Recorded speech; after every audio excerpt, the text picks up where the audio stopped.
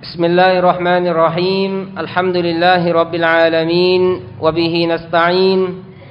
لا حول ولا قوة إلا بالله العلي العظيم أما بعد السلام عليكم ورحمة الله وبركاته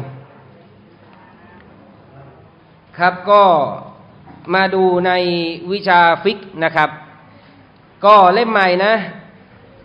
ฟอฮ501 นะครับฟอฮ501 แล้วก็ครั้งที่แล้วพูดไปแล้วนะครับ เป็นครั้งแรก เราอยู่ในบทที่หนึ่งนะครับ เรื่องของอัญญานาซะการเสียชีวิตและบทบัญญัติที่เกี่ยวข้องนะครับ อ่า อันนี้ก็ได้พูดไปในครั้งที่แล้วเป็นครั้งที่หนึ่งอะพี่น้องดูหน้าที่สี่นิดนึงทบทวนหน่อยนะครับ ทบทวนหน่อย ทบทวนอย่างรวดเร็วนะครับอ่าวะกำหนดวาระแห่งความตาย ก็แน่นอนนะครับ ชีวิตของมนุษย์ไม่ยั่งยืนจีรัง ชีวิตที่นิรันดร์ก็คือชีวิตที่อยู่ในสวรรค์ของลอสุบฮานาหัวตาลา อยู่ในดุนยานี้เดี๋ยวก็ตายนะครับ เนี่ยที่นั่งกันอยู่ตรงเนี้ยรวมทั้งคนพูดด้วย อีกไม่นานหรอก อินชาอัลลอฮ์บางคนก็อาจจะไม่กี่เดือน บางคนก็อาจจะไม่กี่ปี เอาพื้นฐานเนี่ยคงไม่เกินกันร้อยปีอะอยู่ไหมอีกร้อยปีว่าจะอยู่ถึงไหมไม่น่าถึงเลยนะดูตามเขาเรียกตามอาดาเนี่ย อยู่กันคนอีกสองปีสามปีห้าปี อยากจะอยู่ร้อยยี่สิบทำอย่างกระเหยียบรถนะเหยียบร้อยยี่สิบคือคนก็อยากมีอยากมีอายุยืนกันทั้งนั้นแหละ โดยเฉพาะอายุยืนและสุขภาพดีอัลลอฮ์ใครก็ชอบ ใช่ป่ะแข็งแรงและสุขภาพดีไอ้โทษทีแข็งแรงและอายุยืนนะแต่ถ้าอายุอาจจะยาวแต่เจ็บป่วยหนักๆบางคนก็ไม่อยากอยู่แล้วไม่ไหว เนี่ยก็ที่เราได้พูดไปครั้งที่แล้วอัลลอฮ์บอกว่าทุกชีวิตต้องลิ้มรสของความตาย นะผู้ที่อยู่ที่จะไม่ตายเลยมีชีวิตตลอดการนิรันดร์เนี่ยก็คืออัลลอฮ์สุบฮานาวะตาลาแม้ว่าวันอาคิเราจะตัดสินแล้วว่าจะไม่ตายอีกแล้วอะแต่แน่นอนมันก็ต้องมีการตายมาก่อนก็คือการตายในโลกใบนี้แหละนะครับ ก็ต้องมีการตายก่อน แต่หลังจากเข้าไปในสวรรค์ของอัลลอฮ์หรือไปในโลกของอัลลอฮ์แล้วนี่จบแล้วก็จะไม่มีการตายแล้ว อันนั้นก็จะอยู่กันตลอดไปเลยนะ ความตายหนีได้ไหมหนีไม่ได้ แม้ว่าจะไปอยู่บนหอคอยที่มันสูงตระงานขนาดไหน หนีไปอยู่ที่ลับขนาดไหนเนี่ยก็ไม่สามารถหนีความตายได้นะครับ เมื่ออายันหรือความตายมาถึง ต่อมาหน้าห้าสิ่งที่จำเป็นสำหรับผู้ป่วย ก็ได้พูดไปแล้ว จะเป็นสำหรับผู้ป่วยที่ต้องมีความศรัทธาในสิ่งที่อัลลอฮ์กำหนดต้องสบัดอดทนคิด ในแง่ดีกับอัลลอฮ์สุบฮานุตาอาลานะครับ มีวัสยัตมีพินัยกรรมอะไรที่จะเป็นที่จะทำไว้อ่าสั่งเสียเป็นพินัยกรรมก็บอกไว้จดไว้บันทึกไว้นะครับ พินัยกรรมหรือวาสยานี่ก็จะไม่เกินหนึ่งส่วนสามของมรดกหรือทรัพย์สินที่มี ยกตัวอย่างเช่น มีทรัพย์สินอยู่สามแสนตายแล้วก็ทิ้งทรัพย์สินทรัพย์สินไว้สามแสนบาททำวาสยาจะต้องไม่เกินหนึ่งส่วนสามหรือหนึ่งในสามก็คือได้แค่แสนเดียวสองแสนไม่ได้แสนห้าไม่ได้แสนห้าก็คือครึ่งหนึ่งของสามแสนใช่ปะ หนึ่งแสนหรือน้อยกว่าหนึ่งแสนอันนี้ยกตัวอย่างเลขกลมๆจะได้เห็นง่ายๆ ไม่เกินหนึ่งส่วนสามในการวาสยาหรือพินัยกรรมนะครับ ต่อมาหุกกลมของการ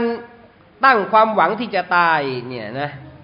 นบีบอกว่าคนหนึ่งคนใดในหมู่ท่านอย่าได้หวังที่จะตายเนื่องจากความทุกข์ที่ได้มาเยือน และหากผู้ใดในบรรดาพวกท่านไม่สามารถที่จะหลีกเลี่ยงจากความรู้สึกที่จะต้องการที่จะตายได้แล้ว ขอให้เขาจงกล่าวอย่างนี้ ถ้าแบบโอ้โหที่สุดและชีวิต ถูกทดสอบเจ็บปวดอย่างมากมายอ่าถ้า ถ้ามันถึงขนาดนั้นแล้วอะนะครับ ก็ขอดุอาต่อเราอัลลอฮุมะอัฮยินีมากานตินฮายาตุคอยรอลลีวะตวฟานีอิดากานตินวะฟาตุคอยรอลลีโอ้อัลลอฮ์ขอทรงให้ฉันมีชีวิตอยู่เถิด หากการมีชีวิตของฉันจะนำมาซึ่งสิ่งที่ดีสำหรับฉัน และขอพระองค์ทรงให้ฉันตายเถิด หากการตายนั้นเป็นสิ่งที่ดีสำหรับฉัน ก็คือเรามอบกับอัลลอฮ์ ว่าถ้าหากว่าเรามีชีวิตอยู่ต่อไป มีความอดทนมีความสบัดหรือมันจะดีขึ้น มันจะหายไงอะก็ขอให้ได้อยู่ต่อ อยู่แล้วมีมีอามันติซอแล้วอยู่อยู่ต่อแล้วเนี่ยมีความดีเพิ่ม ก็ขอให้อยู่ต่อ แต่ถ้าหากว่าตายเนี่ยมันดีสำหรับฉันนะถ้าอยู่ไปเนี่ยอาจจะชีวิตอาจจะหนัก อาจจะฝ่าฝืนอัลลอฮ์หรืออาจจะถึงขั้นกูฟูดตกศาสนาโอ้ยนี้อันตรายหนักเลยนะครับ ถ้าหากว่านะครับ และขอพระองค์ทรงให้ฉันตายเถิดหากว่าการตายนั้นดีสำหรับฉัน เพราะเราก็ไม่รู้ว่าการมีชีวิตอยู่กับการตายอันไหนจะดีสำหรับเรา แต่ลอทรงรู้ดียิ่ง ก็ขอให้ลอเลือกให้นะครับอ้าวมาดูสำหรับวันนี้ครับหน้าหกครับ การเตรียมตัวสำหรับการตายเอออ่าเตรียมตัวตายนะครับอ้าวดูคือบางคนบอกว่า ไม่ใช่เตรียมตัวตายนี่ เตรียมกระฝันเตรียมลงขุดหลุมอย่างเดียว บอกคนนั้นคนนี้ว่าให้ให้ให้ฝังฉันให้ละหมาดฉันไม่ใช่อย่างนั้นอย่างเดียว สิ่งสำคัญก็คือเตรียมตัวตายก็คือต้องเตรียมอามันที่สอนเลยนะไม่ใช่บอกเฮ้ยป้ากระฟันจัดการให้ด้วยนะอ้าวขุดหลุมไปบอกอ้าวคนนั้นคนนี้ เอ้ยละหมาดอย่างนั้นอย่างนี้ไอ้สิ่งต่างๆแล้วเนี่ยสี่อย่างเนี่ยเขาต้องจัดการให้เราอยู่แล้ว ถ้าไม่มีใครทำให้เราเลยเขาบาปถ้ามีคนตายเกิดขึ้นทำสี่อย่างหนึ่ง อาบน้ำให้เขาสองกาฟันหรือห่อศพเขาสามละหมาดให้เขาเรียกว่าละหมาดจานาซะสี่ฝังเขาหรืออัดดัฟนุสี่อย่างเนี่ยเขาต้องทำให้เราอยู่แล้ว ไม่บอกใครก็เขาก็ต้องทำเพราะเป็นหน้าที่เป็นฟัรดูกีฟายะ เป็นสิ่งที่คนเป็นจะต้องปฏิบัติกับผู้ตาย แต่ถ้าเราจะบอกใครให้จัดการเออเอาเห็นคนนี้ลูกที่ซอแล้วคนนี้มันมันดีที่สุดในลูกของเราเป็นผู้ชายอ้าวบอกไอ้คนนี้ สั่งเสียไปให้มันละหมาดให้ฉันนะฉันตายไป ไม่เป็นได้แต่ถ้าเราไม่ได้บอกใครเนี่ยต้องมีคนทำหน้าที่อยู่แล้วนะ โดยเฉพาะสิ่งที่มันจะไปพบกับอัลลอฮ์ไปเสนอกับอัลลอฮ์คืออามันที่ซอแล้วอามันที่ดี นี่คือการเตรียมตัวตายอย่างแท้จริงคือ ถ้าตายแล้วพร้อมเสมอว่า เรามีอามันซอและเสนอกับอัลลอฮ์ไม่ใช่ตายแล้วเนี่ยนะ ไปเนี่ยโอ้โหความดีเนี่ยไม่มี มีแต่นินทาชาวบ้าน มีแต่หัวใจที่อิจฉา มีแต่หัวใจที่ขี้เหนียว มีแต่ชอบใส่ร้ายคน มีแต่แวัดวัดตรัตตัดวัตตัดวัตตัดเป็นนกไปได้ นะ เนี่ยปากอย่างเงี้ยมีแต่ของมีแต่ของไม่ดีออกจากปากเนี่ยไม่ได้ ต้องเป็นของดีออกจากปาก ของที่มันจะออกจากปากเราหรือด้วยการปฏิบัติเนี่ยมันจะมาจากไหนครับ มาจากใจที่สวย ใจที่ดี ใจที่ดีคือใจที่มีอีมานมีตักวาไม่ใช่ไม่เป็นโรคหัวใจนะ เพราะบางคนเนี่ยเป็นโรคหัวใจก็จริงนะหมายถึงว่าหัวใจตีเส้นเลือด หัวใจตีปลอดเลือดตีหัวใจโต แต่เขามีอีมานเขาอดทนเขาสบัดแต่บางคนไม่ได้เป็นโรคอะไร แต่ใจมันมีโรคของการสงสัย การกูโฟดการกับกอกอิจฉาทิษยาขี้เหนียวเนี่ยพวกนี้โรคทั้งนั้นน่ะฮะฉะนั้นเตรียมตัวตายนี่เป็นยังไงเอาดู จะเป็นอย่างยิ่งสำหรับมุสลิมจะต้องเตรียมตัวและเตรียมใจที่จะตาย นะ เตรียมตัวเตรียมตัวเตรียมใจเห็นไหมใจของเรานี่สำคัญต้องเตรียมพร้อม เตรียมเขาบอกเตรียมตัวเตรียมใจต้องถ้าจะจากดุนยานี้ไปในวันนี้เนี่ย พร้อมไหม มีใครบอกว่าถ้าตายวันนี้หรือพรุ่งนี้เนี่ยพร้อมแล้วไปหาอัลลอฮ์นี่ฉันสบายใจแล้วมีอามันสอแล้วมีใครกล้าประกันนะเราไม่ค่อยมั่นใจใช่ปะเราไม่รู้ว่าที่ทำไปนี่อามันซอแรกก่อนน้อยอะที่ทำไปนี่อัลลอฮ์จะรับหรือเปล่าบางทีเราก็มีมีอะไรไม่ค่อยสวยงามต่อการปฏิบัติของเราละหมาดของเราห้านี่ เราประเมินเองนี่เอ้ยขอโทษทีสิบเนี่ย เราก็อาจจะได้แค่สักเจ็ดได้สักหก แต่ในความเป็นจริงอาจจะได้ห้าได้สี่ก็ได้ บางคนก็ประเมินเข้าข้างตัวเอง แต่มันไม่มีใครมาหลอกตัวเองได้หรอกเรารู้ตัวเองว่าเราละหมาดแล้วหัวใจเป็นยังไง เราถือสินอดแล้วเป็นยังไง ไปทำฮัททำอุมรอนี่เราด้วยความอิคลาสบริสุทธิ์ใจ หรือว่าต้องโชว์คนอื่นถ่ายรูปนี่ฉันมาทำฮัทมาทำอุมรอโชว์หน่อย ตอนนี้ของเอรอมอยู่เอ้ยฉันของเอรอมอยู่โชว์หน่อย นะ ไปทำทัศทำอุมรอนี่ถ่ายรูปโชว์ตลอดอย่างเงี้ย เสี่ยงเราไม่ได้บอกว่าคนถ่ายไปทำฮัททำร้อนแล้วก็ถ่ายรูปมาแล้วก็ลงเฟซลงไลน์แล้วเขาจะเป็นคนโอ้อวดทุกคน เราไม่กล้าพูดอย่างนั้นดอกมันอยู่ที่ใจของท่าน แต่การที่ถ่ายรูปแล้วก็ลงเฟซลงอะไรเพื่อนมาดูมาชมมาอะไรโอมาคอมเมนต์มาแสดงความคิดเห็นเนี่ยเป็นไงครับ อะไรที่มันจะเสี่ยงกับหัวใจของเราในศาสนาจึงปิด เสี่ยงต่อชีริกเสี่ยงต่อการโอ้อวดอย่าทำเพราะอะไรครับมันจะทำให้อามันเราเสียหายไม่ได้ผลบุญด้วยเสียตังค์ไปด้วย เห็นไหมครับ นี่คือสิ่งที่ต้องระวัง เตรียมตัวเตรียมใจที่จะไปพบกับอัลลอฮ์คือตาย โดยการรำลึกถึงความตายอย่างสม่ำเสมอ วิธีการเตรียมตัวและเตรียมใจคือการเตาบะมีความผิดอะไรก็เตาบ้ากับเนื้อกับตัวสารภาพกับอัลลอฮฺสุบฮานุตาลาสำนึกในความผิดที่ได้กระทำไว้รำลึกถึงวันอาคีรอพอเวลารำลึกถึงวันอาคีรอวันแห่งการตอบแทน เป็นไงครับ มันมันจะไม่เราจะไม่กล้าทำบาป เพราะรู้ว่าถ้าทำบาปเราจะรอดปะเราอาจจะรอดในดุนยา แต่เราจะไม่รอดในอาคีรออ้าวในเมื่อเรามีความมั่นใจอย่างแน่วแน่ ไม่มีความสงสัยวันอาคีรอเราจะถูกสอบสวน เราจะทำบาปไหมล่ะ เราก็ไม่ทำอะถึงแม้ว่าทำยังไงหัวใจก็รู้ว่า เราก็จะถูกสอบสวนเราก็พยายามขออภัยโทษต่อรอเตาบ้ากลับเนื้อกลับตัว มนุษย์นะมุสลิมรู้ว่ามีวันอาคีรอแต่ถามว่าทำบาปไม่ก็ทำเพราะโดยอารมณ์นับซูไง มันก็มี แต่การรู้ถึงอาคิรอมันช่วยให้เราหลีกเลี่ยงจากบาปได้เยอะ เพราะรู้ว่าวันเป็นวันแห่งการสอบสวนรำลึกถึงวันอาคิรอจัดการคืนสิทธิ์ต่างๆ ที่ได้ละเมิดต่อผู้อื่นให้เสร็จสิ้น การยอมรับความผิดต่อรอด้วยหัวด้วยเต็มด้วยความเต็มใจและห่างไกลจากสิ่งที่อัลลอฮ์หรือสิ่งต้องห้ามทั้งหลาย เตรียมตัวทำอามันที่ซอและมีความผิดก็เตาบ้ากับเนื้อกับตัว กับอัลลอฮ์สุบานตาลาละหมาดยังไม่ครบใช่ไหมละหมาดให้ครบละหมาดให้ดีฮิยาบยังไม่คุมต้องคุมฮิยาบนะครับ มีอ้าวคนจ่ายสกาดครบที่ต้องจ่ายสกาดก็ต้องจองจ่าย อย่าเป็นคนหวง เพราะอะไรครับถ้ามีสกาดแล้วไม่จ่ายแสดงว่านั่นกำลังซอเลมสิทธิคนอื่น เพราะสกาดไม่ใช่ส่วนของเราสกาดคือส่วนของแปดจำพวก คนยากจนคนขาดสน คนมีหนี้สินเยอะแยะมากมายคนที่ต่อสู้ในหนทางของอัลลอฮ์ คนที่เป็นมุอัลลัฟสนใจอิสลาม หรือเพิ่งเข้ารับอิสลามใหม่ๆ ให้เขาเพื่อได้เป็นกำลังใจให้เขาแน่น หนักแน่นอยู่กับอิสลามนะคนที่รวบรวมเก็บสกาดเนี่ยเนี่ยในที่ว่าในกุรานบอกไว้เนี่ยแปดจำพวกเนี่ยให้มันเป็นสิทธิ์ของพวกเขา ถ้าเราไม่จ่ายสมมติว่าเรามีสกาดห้าพันเราไม่จ่ายหรอก เราเอามาใช้จ่ายส่วนตัวเราให้ลูกของเรานะครับ ไม่ให้คนที่มีสิทธิ์รับ เรากำลังซอลิม เรากำลังอาธรรมกับทรัพย์สิน เพราะทรัพย์สินนี้ห้าพันเนี่ยไม่ใช่เงินเรา มันเป็นของเขาอย่ามองว่าเฮ้ยนี่มันตังฉันนะฉันขนขวาย ฉันไม่ได้ไปเอาตังคนจนมานะ ฉันไม่ได้เอาตังคนนั้นคนนี้มานะ ไม่ได้ไปซอลิมอย่างนั้นนะก็ศาสนาบอกว่านี่คือสิทธิ์ของพวกเขาถ้าเราไม่ให้สิทธิ์ของพวกเขา นั่นหมายว่าเราก็เอาสิทธิ์ของเขามาแหละ เราต้องเอาให้เขาไป ใช่ เราไม่ได้หยิบจากเขามาโดยตรง ไม่ได้ลัก ไม่ได้จิกมา แต่มันคือสิทธิ์ที่เราต้องหยิบยื่นเอาไปให้เขา เขาไม่รู้หรอกคนอื่นเขาไม่รู้หรอกว่าเรามีซะกาตที่ต้องจ่ายเท่าไหร่เขาเราอะรู้ ว่าเรามีตังอยู่ในธนาคารเท่าไหร่ในเกะในเซฟเท่าไหร่เรารู้ แต่คนอื่นเนี่ยเขาไม่รู้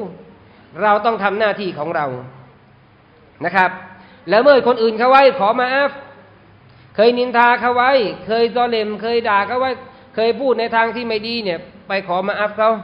ไปเอาทรัพย์สินเข้ามาเมื่อก่อนเนี่ย เคยไปลักเข้ามา อะห้าร้อยพันหนึ่งร้อยสองร้อยห้าสิบยี่สิบลักเข้ามาแสดงว่าไปเอาทรัพย์สินเข้ามาโดยอาธรรม ก็ต้องเอาทรัพย์สินที่เราเคยเอาเข้ามาเนี่ย ไปคืนเขาถามว่ามันมันอายไหมโอ้บางทีผ่านมายี่สิบสามสิบปีที่แล้วนี่แหละ เราเอาตังค์เพื่อนมา รอดไหมเพื่อนมันจับไม่ได้ มันก็ไม่รู้ว่าใครเอาแต่เราเนี่ยเอามาร้อยหนึ่งแล้ววันนี้เนี่ยจะกล้าไปคืนไหมก็ต้องกล้าแล้วนะครับ จะด้วยวิธีใดก็แล้วแต่ คืนก็ไปคืน เราไม่คืน เราไม่คืนแล้วเขามายกให้เนี่ยเราก็ติดตัวไปหนึ่งวันกิยามาเนี่ยต้องไปเคลียร์กันนะ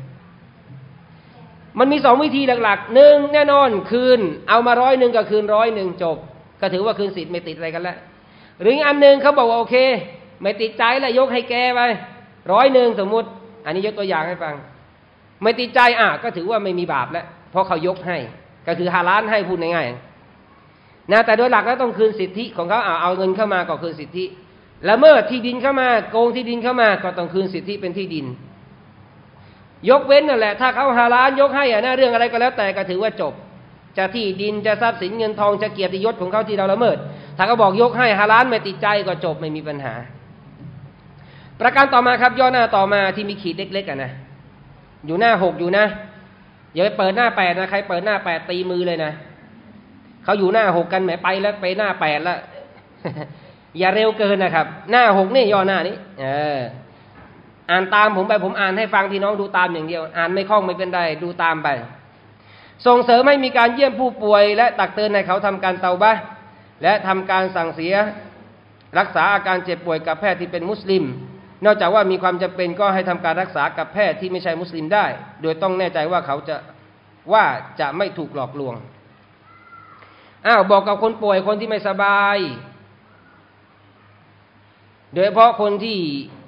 ดูแล้วอาจจะถึงอาจันในการเจ็บป่วยครั้งนี้ เพราะคนเรานี่ก็มีการเจ็บป่วยหลายครั้งใช่ป่ะ นบีมุฮัมมัดนี่ก็มีป่วยหลายครั้ง เพราะนบีมุฮัมมัดก็เป็นคนธรรมดา มีไข้ มีป่วย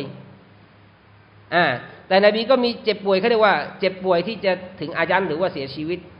นบีก็แสดงว่านบีก็มีเจ็บป่วยก่อนนั้นนี่เพราะนบีก็เป็นมนุษย์นั่นแหละ ไม่ใช่ว่าป่วยทีเดียวแล้วก็เสียชีวิต ก็มีเจ็บป่วยอย่างเช่น เป็นไข้อย่าถามว่าเราเป็นกันไหมก็มีในชีวิตของเราปีละสองครั้งสามครั้งปวดหัวเนี่ยบางทีอาทิตย์ละครั้งสองครั้ง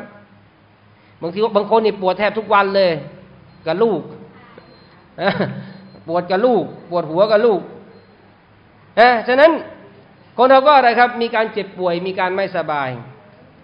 อ่าบางทีบางครั้งเนี่ยเจ็บป่วยแบบตอนช่วงที่จะเสียชีวิตมารอดุนมาอุดนะบอกกับเขาว่าตักเตือนเขาให้ทำการเตาบ้านะครับ บอกเขาให้รักษากับแพทย์ที่เป็นมุสลิมอ้าวอย่างนี้และเป็นผู้ชายเราก็รักษากับแพทย์ที่เป็นผู้ชายอ่าโดยเฉพาะบางทีมันจะต้องมีการเปิดเอารอใช่ไหมตรวจนู่นตรวจนี่อะ ผู้หญิงมุสลิมก็ตรวจกับหมอที่เป็นมุสลิม เอ้ยเขาดิเป็นหมอที่เป็นผู้หญิง เอาอันนี้กว้างๆก่อนนะ ผู้ชายกับผู้ชายผู้หญิงกับผู้หญิงเพราะบางทีผู้หญิงเนี่ยต้องเปิดเอารอบตรวจนู่นตรวจนี่จับนู่นจับนี่อ่าผู้ชายกับผู้ชายผู้หญิงกับผู้หญิง แต่ถ้าเรียงลำดับ เช่นผู้หญิง เอาไล่สเต็ปมาเลยนะหนึ่ง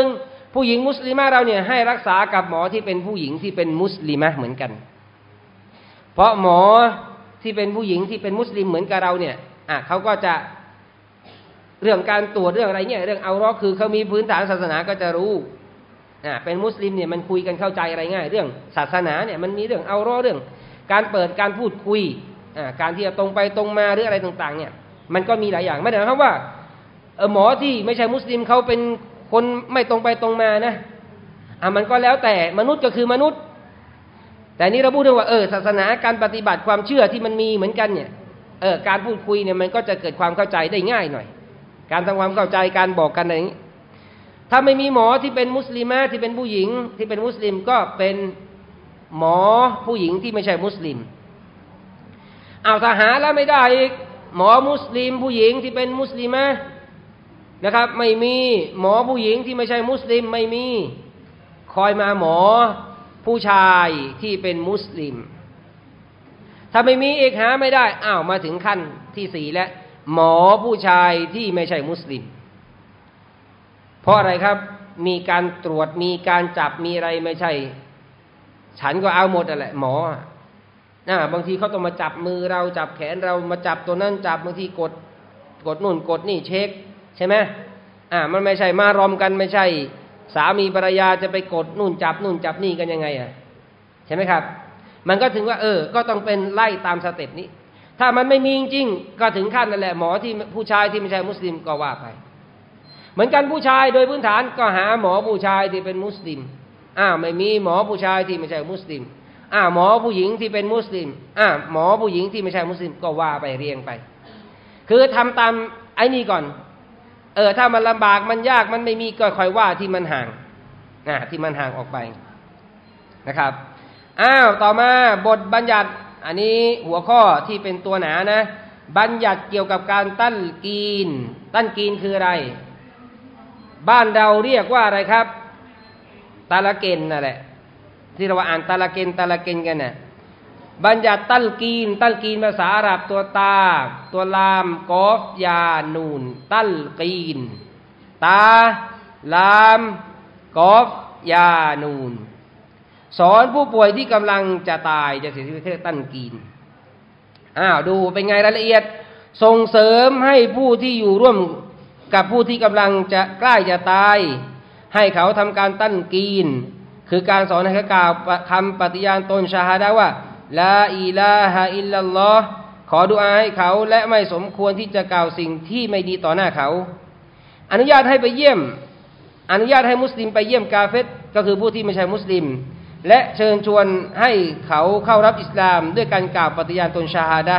ว่าลาอิลาฮะอิลลัลลอฮ์อ่ามาดูนี้ คนที่เวลาจะใกล้จะเสียชีวิตใกล้จะเสียชีวิต ท่านนบีสุลต่านฮุอะลัยวะสัลลัมเนี่ย ได้บอกหรือมีสุนนะจากท่านเนี่ยให้เราสอนให้เราสอนตัลกีน ให้เขากล่าวตาม นบีว่าใครที่คำสุดท้ายของเขาจากดุนยานี้ไปด้วยอะไรแล้วเนี่ยเขาจะได้เข้าสวรรค์من كان آخر كلامه لا إله إلا الله دخل الجنةใครที่จากดุนยานี้ไปคำสุดท้ายเนี่ยก่อนจะเสียชีวิตไปเนี่ยเขา لا إله إلا الله เนี่ยเขาได้เข้าสวรรค์เขาเรียกว่าเป็น เป็นการแจ้งข่าวดีแล้วแหละ เบื้องต้นว่า เออ ถ้าจบชีวิตในสภาพที่ได้ لا إله إلا الله นี่ก็เบื้องต้นนี่มีความปลอดภัยแล้วนบีบอกได้เข้าสวรรค์ แต่เรื่องของการจะถูกสอบสวนถูกลงโทษอะไรว่ากันอีกทีนึงนะแต่มีนบีบอกว่าแล้วได้ถ้าลายแล้วนี่ได้เข้าสวรรค์ ประการต่อมาตันกินยังไงอะมึงบอกว่าตันกินยังยกตัวอย่างเช่นอาพี่น้องฟังให้ดีนะครับ อ่าฟังด้วยนะครับ คือถ้าเขาป่วยนอนอยู่เราก็สอนเขาคนที่อยู่ข้างเนี่ย เช่นลาอิลาฮะอิลลัลลอฮ์ก็สอนเขาอะกระซิบข้างหูก็ได้ ถ้าเขากล่าวแล้วอาจจะเบาเพราะคนคนป่วยเนี่ย คนจะถึงอายันจะถูกดึงวิญญาณออกแล้วเนี่ย มันไม่เหมือนกับคนที่มีสุขภาพนั่งกันอยู่อย่างนี้ มันไม่ได้กล่าวละอิรอเสียงดังชัดเจนหรอกเขาก็อาจจะกล่าวแต่แล้วก็มันเบาแผ่วเบามาก ค่อยเพราะเขาไม่มีพลังแล้วจะหมดจะวิญญาณจะออก ถ้าเขากล่าวลาอิรอแล้วจบแล้วไม่ต้องไปสอนซ้ำๆให้เขากล่าวมันเหนื่อยพี่น้องครับ คนวิญญาณจะออก แย่ ถ้าไปกล่าวนั้นเอากล่าวกล่าวกล่าวเขาแย่บางทีเนี่ยเขารำคาญหรือเขาไอ้นั่นมาเขาก็อาจจะพูดโพ่งออกมาเลยหรืออาจจะพูดคำไม่ดีไอ้กูไม่กล่าวแล้วอย่างเงี้ยยุ่งเลยฉะนั้นถ้าเขากล่าวได้ก็โอเค ถ้าเขาไม่กล่าวคำอื่นอะไรออกมาอ้าวไม่ต้องไปสอนแล้วไม่ต้องไปให้เขากล่าวกล่าว เราไม่ได้ยังไม่เคยตายใช่ไหมเนี่ย เราเนี่ยยังไม่ตายเนี่ยยังไม่รู้หรอกว่ามันเหนื่อยมันมันมันลำบากขนาดไหนวิญญาณมันจะออกไอเรายังไม่เคยตายไม่เคยแล้วเราก็ทุกคนก็ต้องตายแล้วก็แล้วเราก็จะรู้ความรู้สึกนั้นว่า มันเหนื่อยมันเจ็บปวดยังไงอะที่วิญญาณมันจะออกแล้วอะฉะนั้นถ้าเขากล่าวอะไรตลอดแล้วก็ไม่ต้องไปไม่ต้องไปให้เขากล่าวซ้ำๆบ่อย ๆ ยกเว้นว่าเขากล่าวคำอื่นมาอะคอยสอนใหม่ นะแม้ว่าเขาจะกล่าวอะไรตลอแล้วอีกห้านาที สมมติเราวิญญาณออกไปแล้วอ้าวก็เขาถือว่าจบชีวิตด้วยอะไรรอเพราะเขาไม่ได้กล่าวคำอื่น เข้าใจนะ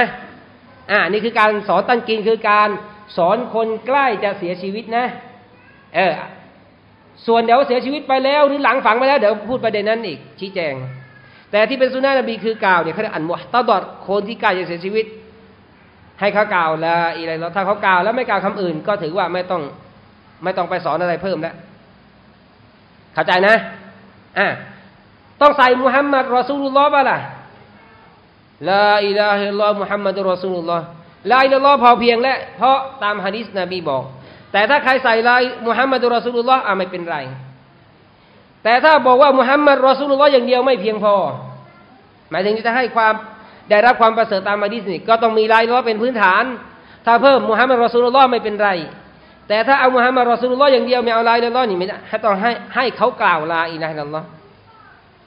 ไม่น่ายากนะ ไม่ยาวมากและเราก็กล่าวในชีวิตของเราอยู่แล้ว لا إله إلا الله เหมือนอัตโนมัติอยู่แล้วนะแต่ที่สำคัญเนี่ยกล่าวอะไรก็ร้อเลยให้นึกถึงความหมายนี่เดียวครับว่าอะไรนะล้อนี่คืออะไรเนี่ยสำคัญ ไม่มีพระเจ้าองค์ใดนอกจากอัลลอฮ์นี่ ชีวิตของเราต้องอิบาดาต่อรอไม่มีชีริกไปหาหมอดู ไปหาโต๊ะตะเกียไปขอต่อคนตายขออะไรไม่ได้ ช่ไหมเออไล่ล้อล้อนี่ก็ต้องปฏิบัติตามไล่ล้อไม่ใช่ไล่ล้อแต่ปาก แต่ตัวเองทำชีริกทำบิดาไม่ไม่ปฏิบัติตามหลักการศาสนาไล่ล้อยังไงอย่าแค่ลิ้นเนี่ยแค่กล่าวอะไม่ใช่ต้องนำไปสู่การปฏิบัติด้วยอ้าวแล้วหลังตายล่ะ เสียชีวิตไปแล้ว หรือหลังฝังไปแล้วนะครับ มีทัศนะอุลามาบางท่าน ก็บอกให้สอนตั้นกีนเขาแต่ไม่มีฮะดีษที่ถูกต้อง ที่ยืนยันนะฮะดีษที่โซเฮียในวานาบีซอฮาบะเขาปฏิบัติว่าตายไปแล้วมีฝังแล้วก็ไปนั่งกันไปอ่านไปสอนตะละเกนอ่านตะละเกนกันไม่มี มีบางตัวบทที่นักวิชาการยกมา แล้วก็มันก็มีปัญหามันดออีฟมันอะไรอย่างฉะนั้นที่มันถูกต้องจากนบีก็คือสอนลายละลอก่อนที่เขาจะเสียชีวิตนี่แหละ หลังจากนั้นเป็นการขอดูอาทั่วๆไป เพราะมีตัวบทเรื่องของดูอา ตายไปแล้วหมายถึงว่าวิญญาณออกไปแล้ว แต่ยังไม่ฝังเช่น วางบนบิดุลอะไรนะ ที่ที่รองอะนะรองมาหยัดบิดุลนี่ก็คือที่อาบน้ำใช่ไหมก็ เดี๋ยวนี้ก็จะเป็นบิดุลที่อาบน้ำกับชั้นบนนี่ก็คือให้มาหยัดได้นอน แล้วก็เป็นบิดุลไปในตัวก็คือไปอะไรครับ ใช้อาบน้ำมาหยัดก็จะเลื่อนไม้เลื่อนอะไรออก แล้วก็จะมีเอามาหยัดวางไป แล้วจะมีไม้รองอะไรข้างในแล้วก็อาบน้ำก็ให้ไหลออกไป หรือฝังไปแล้วอ้าวไม่มีแล้วนะในการที่จะมาสอนกันไปนั่งอ่านกัน เป็นการขอดุอา จะเราไปเยี่ยมกูโบสจะขอดุอาให้กับชาวกูโบสอาจจะไปเจาะที่หลุมฝังศพของป๋าของมะเราของลูกเราของสามีเราอาจไปได้ที่กูโบสเจาะจงตรงกูโบสไม่เป็นไร ขอดุอาโดยรวมให้กับชาวกูโบสหรือจะเจาะเฉพาะ ขอดุอาเป็นการเฉพาะไปตรงหลุมฝังศพไม่เป็นไรแต่ประเด็นเรื่องของผู้หญิงเยี่ยมกูโบสก็มีคีราบระหว่านักวิชาการเหมือนกัน ว่าอนุญาตให้เยี่ยมไม่เยี่ยม แต่ถ้าเยี่ยมอะถ้าไปเยี่ยมแล้วก็ไม่ใช่แสดงต้องเรียบร้อยอยู่แล้วออกจากบ้านแน่นอน แต่งกายเรียบร้อยไม่ ไม่ร้องไห้ฟูมฟายนะครับอขอดูอาให้ก็กลับอะไรอย่างนี้อ่าอย่างนั้นก็ที่อุลามะอนุโลมก็ได้ไม่เป็นไรนะครับอะอันนี้คือเรื่องการสอนตะละเกนก่อนตายหลังตายนะชี้แจงและอธิบายแล้วคนที่ไม่ใช่มุสลิมล่ะ ก็ให้เราไปเช่นเรามีเพื่อนที่บริษัทที่ทำงาน เราก็รักเขาเหมือนกันนะนะเป็นเพื่อนเราช่วยเหลือเรามา แต่ว่าไม่ใช่มุสลิม อ้าวก็ให้เราไปสอนลายแล้วล้อเขานั่นแหละนะกล่าวชาฮาดะอันเนี้ย لا إله إلا الله เหมือนกัน หรือจะบอกว่ามี محمد رسول الله เข้าไปด้วย ถ้ามองว่าเออเป็นคนเข้ารับอิสลามอยู่ก็ต้องกล่าวสองอันใช่ไหมล่ะ لا إله إلا الله أشهد أن لا إله إلا الله وأشهد أن محمدا رسول الله อันนี้มันก็เป็นสองช่วงของสำนวนอยู่แล้ว แต่ให้กล่าว لا إله إلا الله ก็ถือว่าเป็นพื้นฐานนี่ก็ได้แล้วเขามองว่าคำกล่าวนี้มันจะได้จบชีวิตเขาว่าเดินกับ لا إله إلا الله นะครับอ้าวต่อมาครับมาดูหัวข้อต่อมาลักษณะหรือเครื่องหมายที่แสดงถึงการเสียชีวิตที่ดี อันนี้เขาสรุปมาแล้วนะ แต่จริงก็มีตัวบทที่พูดถึงความประเสริฐ ว่า เออ คนที่ตายดีเนี่ย เครื่องหมายเนี่ยนะอารามัดเนี่ย ว่าเขาจบชีวิตเนี่ยดีเนี่ยมีอารามะมีเครื่องหมายอะไรบ้าง นะ มีเครื่องหมายอะไรบ้าง ดูแรกครับ การกล่าวปฏิญาณตนว่าลาอิลาฮะอิลลัลลอฮ์ อ่านี่บอกไปแล้ว ถ้าใครจบด้วยกับลาอิลลัลอฮ์นี่นะบีบอกได้เป็นได้เข้าสวรรค์ฉะนั้นเป็นเครื่องหมายที่ดีว่า ถ้าจบลาอิลาฮินัลลอฮ์เนี่ย ถือว่าเป็นเครื่องหมายที่ดีนะครับสองการเสียชีวิตของมุสธาในสภาพที่มีเหงื่อออกบนหน้าผาก ถ้าถ้าผู้ศรัทธาตอนจะเสียชีวิตแล้วมีเหงื่อออกที่บริเวณหน้าผากตรงเนี้ยถือว่าเป็นเครื่องหมายที่ดี เป็นสัญลักษณ์ที่ดีว่า เออ อันนี้ เสียชีวิตดีอะนะครับ มีเหงื่อออกที่หน้าผากของผู้ศรัทธาสามการตายชาฮีหรือตายหนทางของเราอันนี้ก็ชัดเจน คนตายชาฮีเนี่ยอัลลอฮ์ความประเสริฐหมดเลยอัลลอฮ์อภัยให้หมดเลยยกเว้นนี่ติดกับมนุษย์นี่ยังถือว่าค้างอยู่กับอัลลอฮ์นี่อัลลอฮ์ให้เลยนะ แต่อะไรครับ แต่ถ้ามีหนี้สินกับมนุษย์ดูอัลลอฮ์นะดูดูอัลลอฮ์ให้ความสำคัญว่ามนุษย์กับมนุษย์เนี่ยก็เป็นสิทธิมนุษย์ต้องเคลียร์กัน แต่กับอัลลอฮ์ใหญ่ขนาดไหน จะใหญ่ขนาดไหนนะครับ ถ้าเตาบ้ากับเนื้อกับตัวเขาอัลลอฮ์ก็พร้อมที่จะให้อภัยกับบ่าว แต่มนุษย์กับมนุษย์ต้องเคลียร์กัน ถ้าเขายกให้ก็โอเคจบ ถ้าเขาไม่ยกให้ก็ต้องไปเคลียร์กันจะไปจัดการกันนั่นแหละนะครับ ตายชะฮีเนี่ย ความประเสริฐเขานะตายในสมรภูมิรบเพื่อศาสนาที่เราบอกตายชหีดเนี่ย ไม่ต้องมาไม่ต้องมาใส่กระฟันแบบเราฝังทั้งชุดนักรบนั่นแหละ ถ้ามีโล่ มีอุปกรณ์ มีอะไรนะอาวุธอะไรเนี่ย แกะออก แกะออก คนทั่วไปนี่อย่างเรานี่ก็คืออะไรครับ อาบน้ำกระฟันห่อใช่ป่ะละหมาดแล้วก็ฝัง คนตายชหีดเนี่ยทำอย่างเดียวหรือสองอย่าง สองอย่างแรกไม่ต้องทำคือไม่ต้องอาบน้ำให้เขานะครับตัวที่ฝังในอันสุดอันที่สี่ว่าถ้าเราเรียง อาบน้ำไหมไม่ต้องอาบกระฟันแบบนั้นไม่ไม่ต้อง ให้ทำการฝังเขาทั้งชุดนักรบ ไม่ต้องอาบน้ำไม่ต้องอะไรครับ ไม่ต้องกระฟันฝังทั้งชุด ละหมาดมีไหมบางทัศนะบอกว่าไม่ต้องละหมาดด้วยบาทัศนะกละหมาดก็ได้จากสุนนะจากการปฏิบัติท่านนบี แต่ฝังเนี่ยฝังเนี่ยมีอยู่แล้ว ตายชาฮีดไม่ตายชาฮีดมันก็ต้องฝังเพราะมุสลิมเนี่ยต้องฝังต้องกบเขาให้เรียบร้อย แต่คนทั่วไปเนี่ยครับอาบน้ำห่อและกละหมาด คนตายชาฮีดไม่ต้องอาบน้ำไม่ต้องกระฝันห่อผ้า คือใช้ชุดของเขาเลย แล้วก็ไม่ต้องละหมาด หรือบางทัศนะบอกมีละหมาด แต่ฝังเนี่ยฝังเหมือนกัน นี่ความประเสริฐของที่ตายชาฮีด ตายชาฮีดในทางของเราก็ถือว่าเป็นอะไรครับ เครื่องหมายเป็นอารามาที่ดีว่า ถึงการเสียชีวิตที่ดีสี่การตายในขณะทำหน้าที่เฝ้าปกป้องดินแดน หรือศาสนาในทางของเรานี่ก็เหมือนกัน โดยเฉพาะในยุคก่อนๆเนี่ย ในปัจจุบันนี้ก็มี ก็จะมีชายแดนใช่ป่ะมีประเทศมีชายแดน ในปัจจุบันใช่ป่ะก็จะมีตำรวจตระเวนชายแดน คอยดูชายแดน ก็จะมีตำรวจมีทหารเนี่ยเฝ้า ในยุคก่อนๆเนี่ยมีการวิชิตดินแดนเนี่ยรัฐอิสลามก็จะมีมุสลิมเนี่ยไปประจำการตามป้อมประการต่างๆ ก็คอยดูดินแดนของมุสลิมนะถ้าตายในขณะทำหน้าที่เนี่ยนะดูแลดินแดนของมุสลิมปกป้องศาสนาของลอนี่ ถ้าตายในสภาพนี้ก็ถือว่าตายเป็นในสภาพที่ดีเหมือนกันห้าครับ การตายเนื่องจากการปกป้องชีวิตตัวเองหรือทรัพย์สินหรือครอบครัว ถือว่าตายชหีดนะนบีบอกว่าใครที่ตายเนื่องจากปกป้องตัวเองทรัพย์สินของเขาครอบครัวเขาเนี่ย ถือว่าชหีดแต่ไม่ใช่ชหีดเหมือนกับการทำสงครามหรือสู้ในทางของอัลลอฮ์ถ้าเขาตายอย่างเช่น มีคนเนี่ยจะมาฆ่าเขาเนี่ยแล้วเขาสู้เนี่ย แล้วเขาตายเนี่ยนะถูกยิงถูกแทงเนี่ยถือว่าตายชหีดแต่ตายชหีดอย่างนี้เนี่ยเขาก็ต้องอาบน้ำกาฟันละหมาดฝังเหมือนมุสลิมทั่วๆไป ไม่ใช่ได้ชหีดแบบนั้นชหีดนั้นเนี่ยสูงสุดล้วตายในหนทางของรอในสนามรบเนี่ยแต่นี่เรียกว่าชหีดเหมือนกันนะแต่หมายถึงว่ามีความประเสริฐกว่าคนทั่วๆไปหน่อย ระดับเนี่ยก็คือชหีดแต่ไม่ถึงขั้นแบบนั้น ก็จะต้องมีการอาบน้ำกระฝันละหมาด แล้วก็ฝังเหมือนกับมุสลิมทั่วๆไป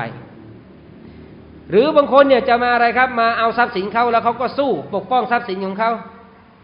แล้วเขาถูกฆ่าถูกแทงคือเสียชีวิตเนี่ยถือตายชหีด หรือคนมา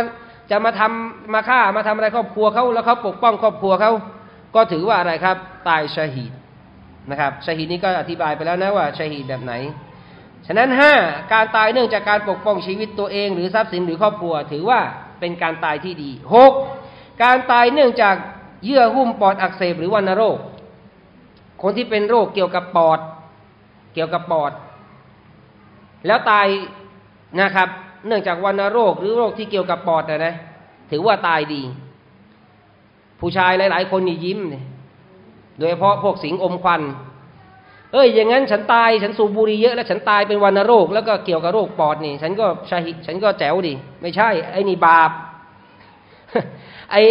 ตายไอ้ไอ้ไอ้โรคปอดที่เกี่ยวกับสูบบุหรี่มีคนห้ามแล้วมีคนบอกว่ามันฮารอมบาป ฉันก็ยังอัดอยู่นั่นน่ะอัดบุหรี่อยู่นั่นน่ะฮะ อย่างนี้ไม่ใช่นอกจากไม่ใช่ตายประเสริฐนะตายเป็นบาปสิอยู่กับมะซียะเนี่ยโดยเพราะถ้าตายแล้ววินิจฉัยตายเนี่ยโรคเกี่ยวกับปอดเนื่องจากคุณสูบุรี คุณทำมะซียะถามว่าตายเกี่ยวกับปอดไหมมันก็ปอด แต่อะไรครับทำความชั่วรู้ว่ามันทำลายตัวเองรู้ว่ามันบาปยังทำเนี่ยนี่มีความผิด แต่ที่ตายวันโรคปอดอะไรต่าง ๆ เนี่ยเออชีวิตอาจจะติดเชื้อมาของเขา นะครับ บางทีเจอฝุ่นเจออะไรในชีวิตเนี่ยมันหรือติดเชื้อเข้ามา เออ ตายอย่างนี้เนี่ย มีภาคผลมีความประเสริฐ แต่ไม่ใช่คนใดครับ ตั้งใจที่จะทำร้ายตัวเองอันนี้มีบาปอยู่แล้ว นะไม่ใช่ศาสนาไม่ได้ให้เรานั่นนะทำร้ายตัวเอง หรือทำให้ตัวเองเนี่ยลำบากหรือทำตัวเองเนี่ยแย่นะ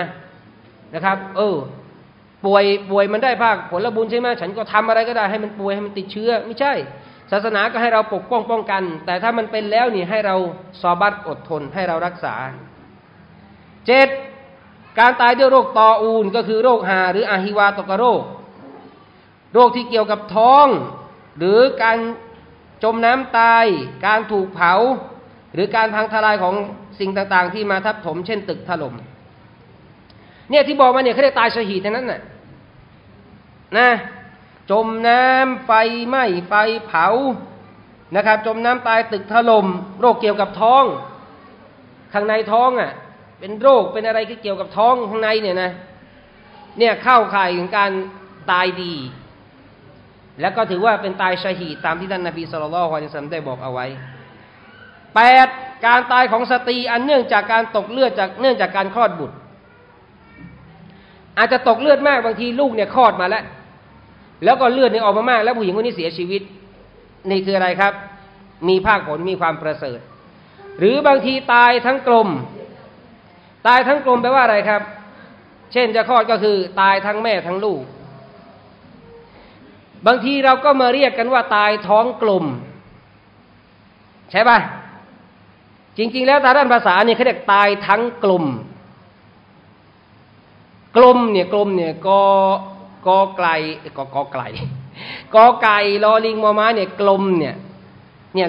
ลูกบอลเนี่ยมันกลมเนี่ยนะนะตายทั้งกลมกลมแปลว่าสิ้นหรือทั้งหมด ตายทั้งกลมแปลว่าตายทั้งสิ้น ตายทั้งหมด แปลว่าอะไรครับ ตายทั้งแม่ทั้งลูก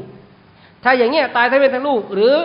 คลอดลูกแล้วก็ตกเลือดมาก แล้วผู้หญิงคนนี้เสียชีวิตแม่คนนี้เสียชีวิตเนี่ย ถือว่ามีภาคผลมีความประเสริฐ ถือว่าอยู่อะไรครับ เสียชีวิตที่ดี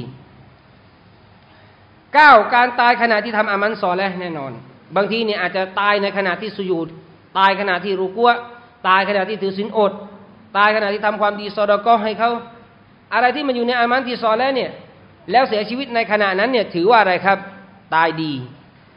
ขอดุอาต่ออัลลอฮ์อยู่สุญูดอยู่รุกัวะอยู่ อ่านกุรอานอยู่ เป็นลมสลบไปเสียชีวิต เนี่ยเขาเรียกว่าตายในสภาพที่จบไปด้วยกับอามัลที่ซอและห์ เราไม่อยากจบนะ ไม่อยากจบชีวิต จมน้ำตายเนื่องจากอะไรอะจมน้ำตายเนื่องจากกินเหล้าแล้วเดินตกคลอง อย่างนี้ไม่ work อะฮะแม้ว่าจมน้ำตายนี่ จะถือว่าตายดีนะ เนี่ยที่เราอ่านไป แต่อะไรครับ กินเหล้าแล้วก็สะพานปูนมันกว้าง เมตรครึ่งสองเมตรเดินไปเดินมาตกน้ำตาย อันนี้มันตายไม่สวยครับมะซียงไงฮะกินเหล้าโดนรถชนตาย เพราะอะไรเพราะเราทำตัวเราเองเราฝ่าฝืนอัลลอฮ์เมาแล้วก็รถชนตาย เมาแล้วก็ตกคลองจมน้ำตาย เมาแล้วก็โดนแทงตายพอเราเมาแล้วก็อะไรครับ ทะเลาะกับคนนั้นคนนี้ เมาแล้วก็กลาง ตอนแรกนี่เป็นคนเรียบร้อยพอเราเมาแล้วมันโอ้โหเฮ้ยสาวว่ามีพลังว่าสาวว่าฉันยิ่งใหญ่ เป็นไงครับ แล้วพอเราเมาแล้วพอเราฮึกเหิมแล้วนี่ แอลกอฮอล์มันเข้าไปแล้วไงมันร้อนแล้วข้างใน แล้วก็สติเนี่ยก็ไม่ค่อยอยู่แล้วจากร้อยเปอร์เซ็นก็เหลือแค่เจ็ดสิบเหลือหกสิบเปอร์เซ็นแล้วคุยก็ไม่ค่อยรู้เรื่องแล้วคราวนี้ใครมาว่าใครมาพูดไม่เข้าหูหน่อยเป็นไงครับ ยิง แทงฟาด กระทืบ เป็นไงครับ มาจากน้ำเมานี่แหละ ที่ทำให้คนเนี่ย จากมนุษย์ดีๆเนี่ยนะกลายเป็นอะไรครับ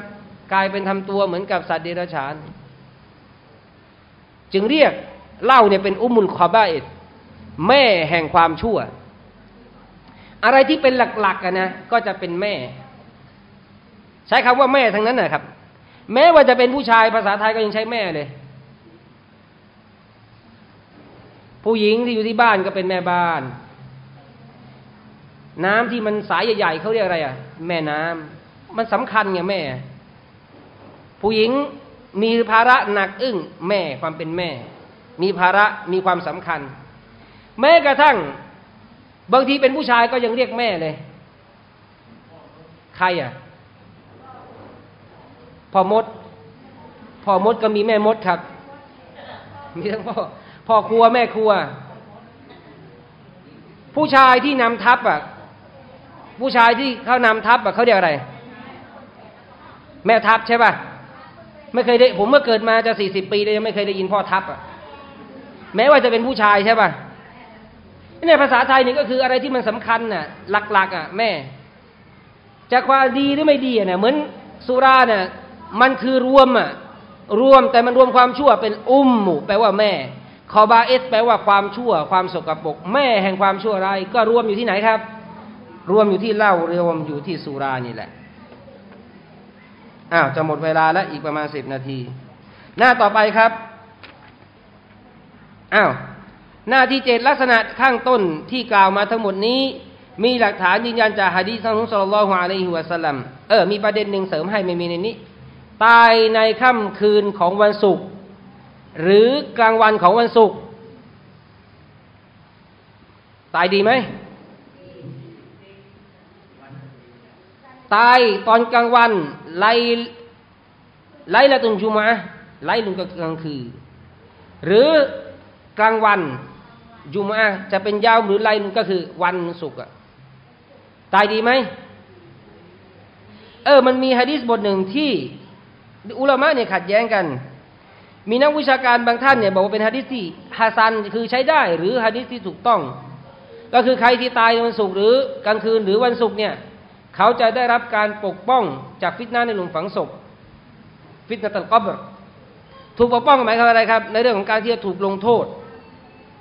อันนี้ตามทัศนะอุลามะบางส่วน แต่อุลามะหลายท่านเนี่ยก็บอกว่าฮะดิษบทเนี่ยมันดออีฟมันอ่อนมันสายรายงานมันมีปัญหามันขาดจำนวนมากที่ผมพยายามไปดูคำพูดที่นักวิชาการได้บอก มีบางท่านอย่างเช่นบานีรอฮิมุลลอฮ์บอกว่าเป็นฮะดิษที่อยู่ระดับที่ใช้ได้แหละจะฮาซันซอยเยนี่ก็คือระดับที่ใช้ได้ท่านมองอย่างนั้น แต่นักวิชาการจำนวนมากนะฮะดิษจำนวนมากบอกว่าใช้ไม่ได้ มันมีปัญหาฮะดิษมันอ่อน มันขาดตอนอ้าวคนที่บอกว่าใช้ได้เนี่ย เขาบอกว่าที่ว่านบีว่าใครเสียชีวิตในวันศุกร์หรือคืนของวันศุกร์เนี่ยจะได้รับการปกป้องจากฟิตนั้นหลุมฝังศพ ก็คือหมายถึงว่าในเรื่องของการที่จะถูกลงโทษ ขณะเดียวกันก็หมายถึงว่าอ๋อถ้าเขารอดในหลุมฝังศพ วันกิยามานี่เขาก็ต้องรอดด้วยหรือ ก็ไม่จำเป็นอะเขาอาจจะรอดเรื่องการถูกถามหรือการถูกลงโทษ แต่วันกิยามะมันก็ต้องมีการชำระบัญชีอีก เพราะเป็นไปได้ไหมมีไหมคนที่เป็นคนไม่ดีแล้วตายวันศุกร์มี มีไม่กาเฟตตายวันศุกร์อะ มีเอาแล้วเขาไม่โดนเหรอกาเฟตยังไงนี่ก็ชาวนรกแน่นอนเป็นวันเป็นวันกียามะอ้าวอันนั้นกาเฟตจบ แต่อ่าพูดถึงมุสลิมแล้วกันมีมุสลิมที่ไม่ดีอะเราก็รู้ว่าไม่ดีเนี่ยเป็นคนฟาซิกละมงละหมาดไม่เอาละหมาดบ้างไม่ละหมาดบ้างบวชบ้างไม่บวชบ้างหรือแทบจะไม่แล้วตายวันศุกร์มีบ้างมุสลิมพวกเนี้ยมีอ้าวแล้วถามว่า แล้วคนที่ เข่งคัดศาสนา แล้วไม่ตายในวันศุกร์ตายในหกวันที่เหลือเนี่ยมีป่ะมีอ้าวแล้วไอ้คนเนี่ย ที่มันตายวันศุกร์แต่มันไม่ละหมาดบวชไม่บวชมันด่าชาวบ้าน มันกินเหล้าไก่คนหนึ่งละหมาดดี ดูแลครอบครัวดี คุมฮิยาดีเป็นผู้หญิง อยู่ในหลักการศาสนาแต่ไม่ตายวันศุกร์อ๋อเห็นภาพไหมเขาก็อาจจะรอดตรงนั้นเนี่ยเขาก็อาจจะรอดตรงนั้นอ้าวแล้วคนที่คนดีแล้ว ไม่ตายวันศุกร์ล่ะเขาก็จะถูกอ้าวถูกถามก็ถาม แต่เขาตอบได้ เพราะเขามีอีมานเขาก็จะมีความสุขในหลุมฝังศพเหมือนกัน แต่อ้าวถ้าตามที่ลักษณะที่มองว่าฮะดิษมันใช้ได้เนี่ยเขาก็อาจจะรอดในเรื่องของหลุมฝังศพ ในหลุมฝังศพ แต่วันอาคีรอก็ไม่จะเป็นว่าจะต้องรอดด้วยนี่ก็จะถูกลงโทษถูกสอบสวนว่าไป เข้าใจนะอะก็จะมีตรงนี้แหละ เรื่องมีปัญหาเรื่องฮะดิษว่ามันถูกต้องไม่ถูกต้อง มันก็จะมีมึง มีมุมมองที่ไม่เหมือนกันอย่างที่บอกตรงนี้ พี่น้องก็จะได้ เออเข้าใจบางคนว่ามันถูกต้องไม่ถูกต้องยังไงเนี่ยนะมันก็มีนักวิชาการฮะดิษเขาเห็นไม่ตรงกันอ่าต่อมาครับหัวข้อความเข้าใจเกี่ยวกับการตายจำเป็นอย่างยิ่งสำหรับมุสลิมที่ต้องใครควรและลำลึกถึงความตายอยู่เสมอ ความตายนั้นไม่ได้เป็นเหตุให้เราต้องพัดภาค ไปจากครอบครัว ผู้คนที่รักและความสุขในโลกดุนยา เนื่องจากการคิดแบบนี้เป็นการคิดสั้นแบบสั้นๆ หากแต่ความตายนั้นเป็นการแยกเราออกจากการทำอิบาดาไปสู่การตอบแทนในวันอาคีรอคือถามว่าจากครอบครัวนะจากไหมโดยความเป็นจริงเนี่ยมันจากอยู่แล้วแหละ อ่า ถามว่าจากครอบครัวนี่จาก เพราะว่ามันไปอยู่กับคนละโลกแล้วเราเนี่ยโลกดุนยาแต่สามีของเราเนี่ยไปอาลัมบารซักและโลกที่สามโลกในท้องแม่ โลกดุนยาโลกอาลัมบารซักกูโบ และก็โลกอาคีรอสี่โลก แต่ถ้าเราเป็นโรคอาจจะมากกว่าสี่โรค ใช่ป่ะเบาหวานความดันไขมันอะไรว่ากันไป ปวดนู่นปวดนี่ แต่ถ้าเป็นโรคเนี่ยโรคในท้องแม่ เราอยู่กำลังเราอยู่โรคที่ไหนครับตอนนี้โรคที่สองคือโรคดุนยาโรคที่สามเนี่ยตายไปแล้วเนี่ยอาลามบารซักกูโบ แล้วก็โรคที่สี่คือโรคอาคีรอเราก็ต้องเจอกันสี่โรคถามว่าจากไหมก็จากเพราะมันอยู่คนละโลกนะในความเป็นจริงคือจากไม่จากแต่ว่า ถามว่าเราจากกันไปเนี่ย ก็คือเป็นการ ร่างกายจากไหมจากอยู่คนละโลกใช่ เขาไม่ได้ทำอิบาดาอย่างเราแล้วตอนนี้เราต้องทำอิบาดาเราต้องเรียนเราต้องละหมาดเราถือศีลอด แต่เขาไปเนี่ยเขาก็รอ เขาไม่ต้องมาทำอามันอิบาดาอย่างเราแล้ว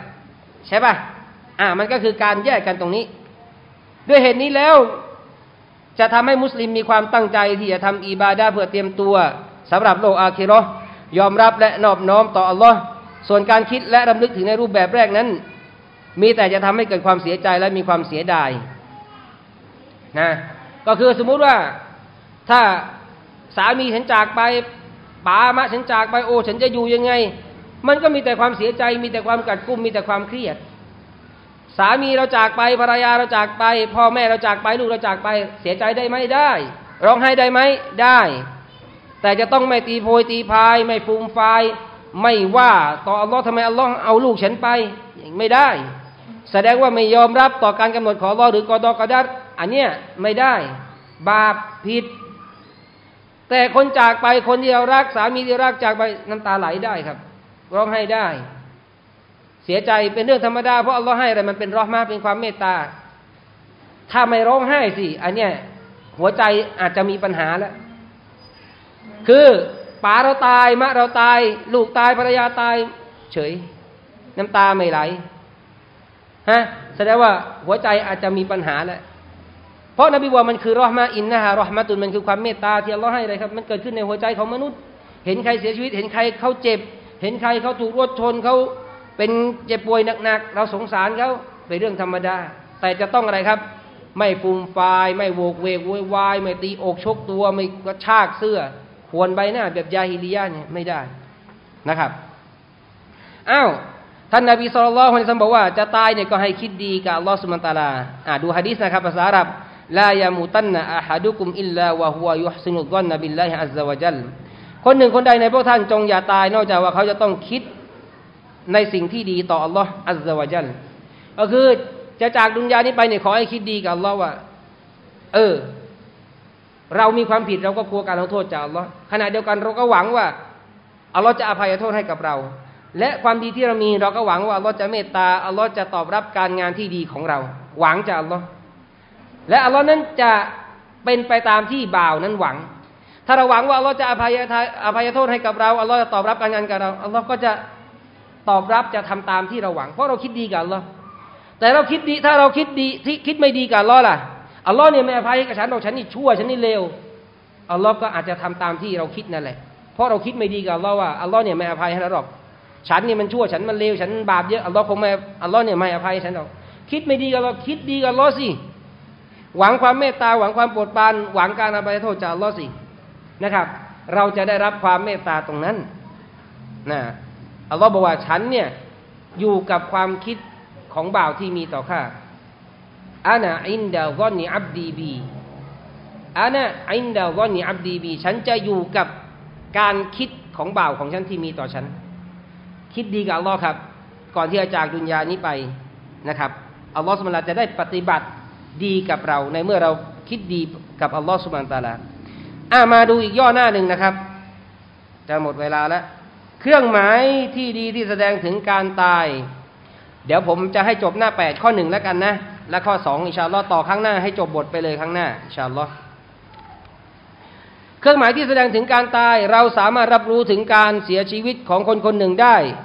คนหนึ่งคนใดได้โดยการที่ขมับทั้งสองบุบลง จมูกเบี้ยว ฝ่ามือจากกลางออก เท้าทั้งสองเหยียดออก ดวงตาแข็งกระด้าง ร่างกายเย็นและหยุดหายใจอันนี้เขาก็แปลเขาก็เรียบเรียงมานะก็ผมก็อ่านไปตามนั้นแหละ ก็เรื่องการแพทย์นั่นแหละถ้ามองแล้วการแพทย์แล้วก็ สิ่งที่เราเห็นนั่นแหละ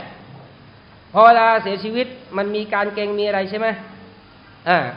ที่เนี่ย มันก็อะไรพาย อวัยวะเขาเรียกอะไรทงทวารมันจะจะเปิดหรือจะปิดอะไรเงี้ยเปิดใช่ป่ะมันก็ไปว่าคนเนี่ยวิญญาณจะออกนะ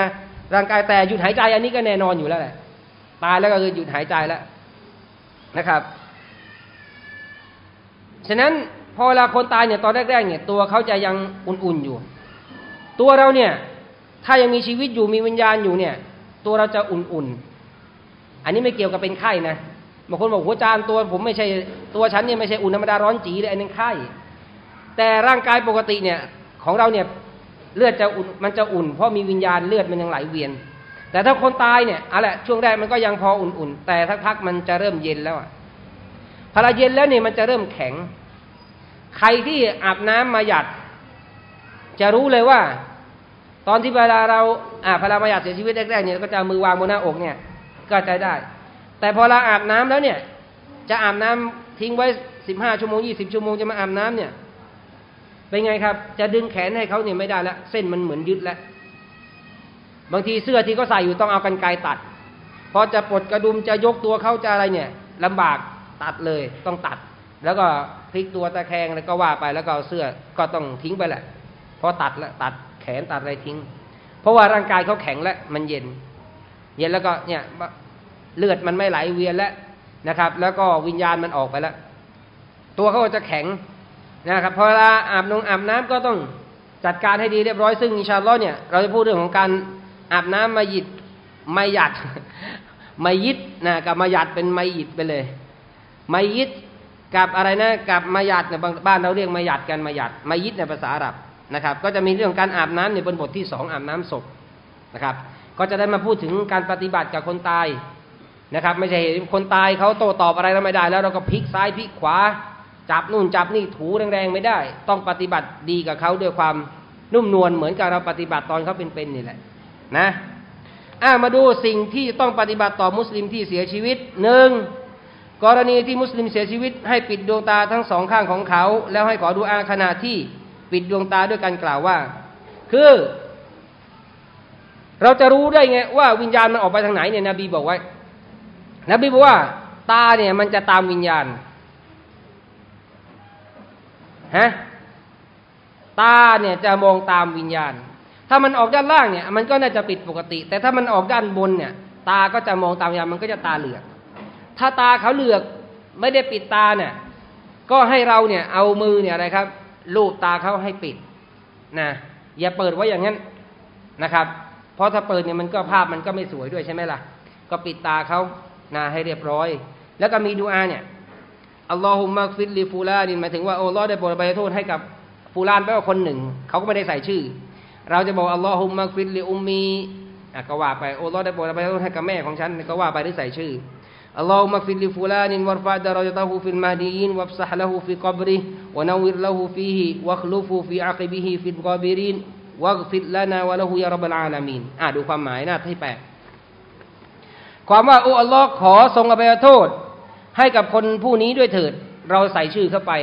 หรือจะเป็น أمي أبي พ่อแม่ของฉันก็ว่าไป